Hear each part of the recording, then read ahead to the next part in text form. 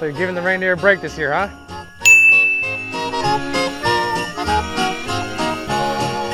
Here comes Santa Claus.